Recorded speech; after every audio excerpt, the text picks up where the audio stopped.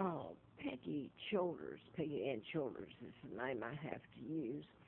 And I'm here at Howard Johnson's Daleville.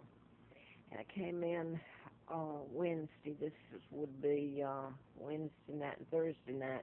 It's still Thursday night. I don't know what time it is. Uh, I'm immune to chemicals, and I've put uh, my immune system. I'm in bad shape. I can't even walk. You want to watch? You want me to watch me try to walk? Oh, I've told you about my real name, and I usually have Les Flint endorsement where he said I knew who was responsible for a shooting, and uh, I wrote about programming and mind control years ago.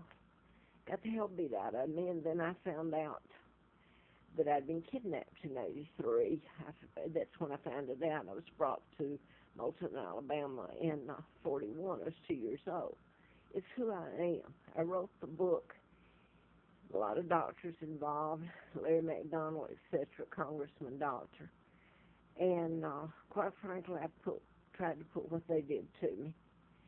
Now then, um, I've put on here what's been done to me, especially last years. I ended up here in Roanoke, and uh, my immune system attacks itself when I'm around chemicals, especially force like I am now. I can go anywhere and be okay. Most places I have no problem. Supermarkets, buses, you name it. Uh, it's deliberately done where I, live.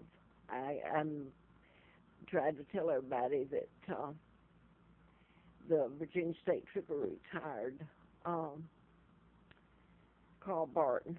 They told me he and his wife told me this is how we run you with chemicals. Well, I know that but they know my word no good. And then they turn around if you try to say or do anything and say you're crazy and threaten you with having you locked up.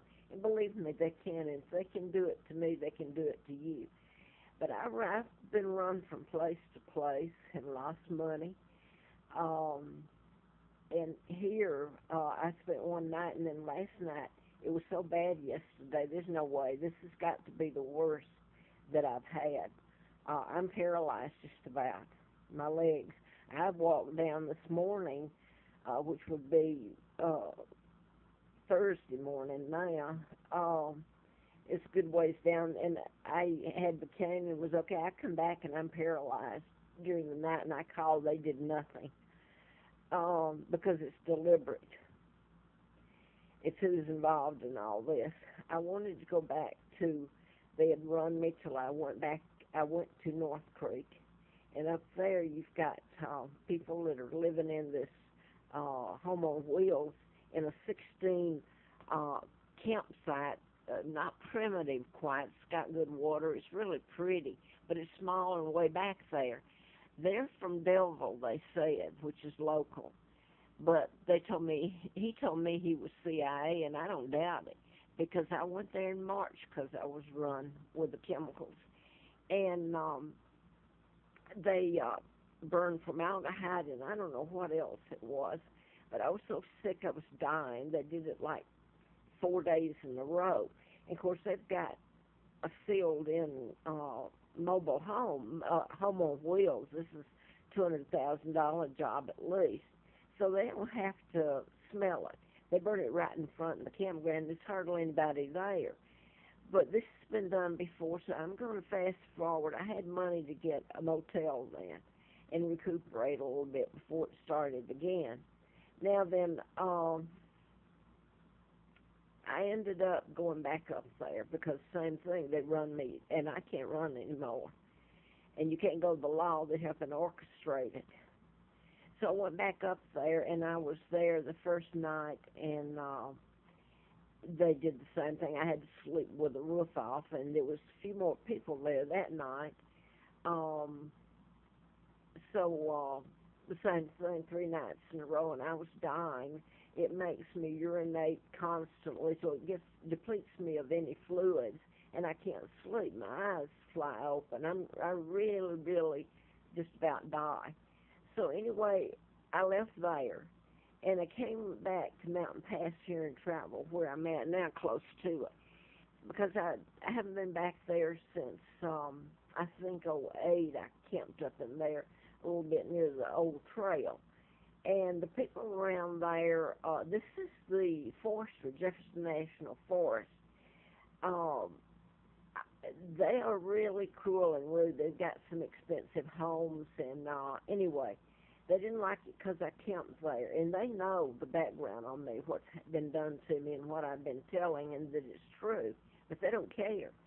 So anyway, I went back this time from uh, North Creek, and because um, they'd put the formaldehyde again, that's the second time this year. I hadn't been out there except in a long time to North Creek, except uh, last year when I went out there and spent two weeks, almost three, and it was fine first time I've ever been out there.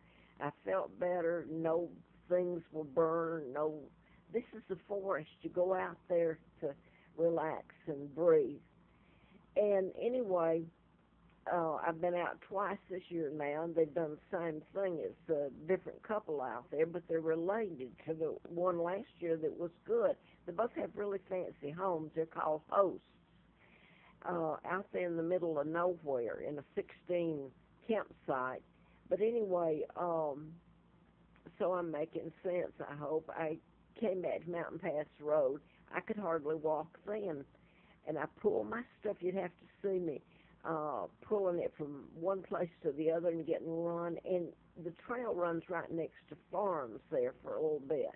And they actually burn, it permeates the air. They burn formaldehyde and I don't know what else till I had drained, was drained of fluids not one person would help me. And um, whatever they come out there with the last couple of nights, they actually followed me on up in there. I managed to drag it up, go back and pick up my stuff and drag it. And um, they actually put the formaldehyde, but something else on me. And it made me, when I got out of the tent to use the bathroom, I fell. And um, it's it's horrible because there it used to be a trash uh, before they put that bit of the trail in of Mountain Pass, and there's broken glass, snakes, you name it. There's uh, pottery that's broken. Anyway, um, I couldn't take that, and finally somebody did come out there and uh, help me, and went back and got my tent. That's been my home because I've been running here and there, and so sick I can't live. So now then, I got some money again, and I went back to Howard Johnson's on Thirlane, which is where I run from there. The same people own all these, the Patels and Shaws. But it's not just them. It's uh, it's here around Roanoke, and I've tried to leave, and this goes way high because of who I am. So they can beat the hell out of me and everybody goes along with it. They're afraid. They don't care about me. But anyway, I was run from there, threatened. It got threatening phone calls, and uh, I came out back out here to uh, Daleville, Howard Johnson, so people would, rather than trying to get it stopped, they'll say they don't know what to do about it. Well, that's simple. You could help me. Um, there's uh, stop and think about. How many ways could people help me? The churches. Uh, it's weird. Uh, anyway, I came back out here. I paid fifty dollars to get a cab to come out here. And I started to try to leave again. I didn't think I'd get on a bus, and you got to have a place to go, or you run out of money. And then what do I do? They've kind of, they've isolated me, and uh, I came out here and I spent last night, and it was really bad. I thought, well, it's they've done it to me again. It's bad here. I can't stay, and um, I thought, please let me stay the week. I don't want to run out of money before I get some more, you know, and stranded. Well, uh, this is the worst I've had. My uh, I've got nerve damage from my hands from so much of the spraying. And in other words, I pay to get poisoned to have a place to live. And here they make you sign a thing, or they do me, that if um, the last well, I was here back in February and they did it, and I had to leave before it was up. I mean, sick, sick. So you ask why I come back because they've got me covered.